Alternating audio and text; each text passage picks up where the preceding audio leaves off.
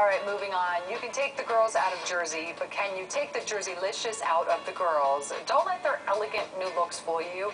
F-bombs and jewelry are about to fly. Olivia and Tracy, the two leading ladies of Jerseylicious, like you've never seen them before, with just a hint of makeup and a whole lot of glamour. I have no jewelry on. I'm kind of freaking out. I keep going like this, and there's nothing there. The longtime rivals are ditching their big hair and bling as they play cover girls for BE Magazine. Tracy rocks a black ball gown with rhinestone accents, while Olivia strikes a sultry pose in the silver stripe number. And the girls dazzle together in white and red and in shades of lavender and plum.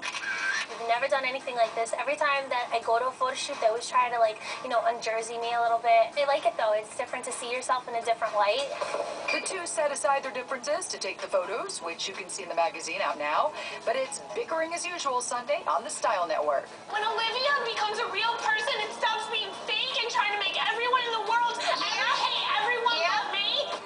Tracy storms off the set in part one of their reunion special, Jerseylicious, Wild and Untamed, when Olivia accuses her of stealing her style. I was actually going to be nice and not talk about this, so I used the smoky eye thing. But let's talk about what really went on, okay? Outside of the show. And she's still talking while she's by herself. She's so.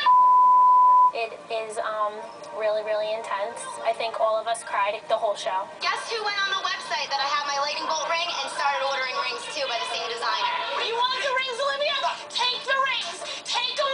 The shenanigans even become too much for the show's host, Vivica Fox. She's really good. Oh, the reunion special is might be like one of the most disastrous things you'll ever see on television. Show how you.